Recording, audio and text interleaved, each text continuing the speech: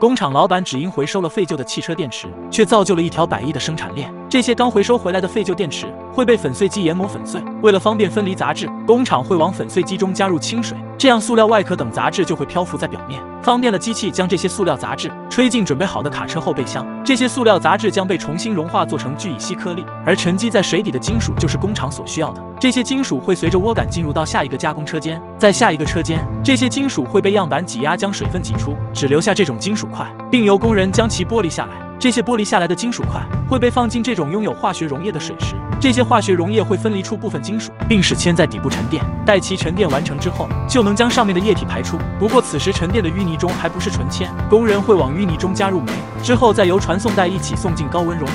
经过高温烘烤后，铅与其他金属就会融化。同时，因为铅与其他金属的密度不同，就能将铅分离出来。为了得到更加纯净的铅，这些分离出来的铅溶液还会进入到这个钢炉里烧碱混合。此时我们就得到了相当纯净的铅了。这些分离好的铅溶液会被倒进这种方形模具，并由工人将表面的杂质去除。待其完全冷却之后，我们就得到了铅块，而这些铅块就会被重新制作成汽车电池。一块汽车电池几万到十几万不等。我是但丁，我们下期见。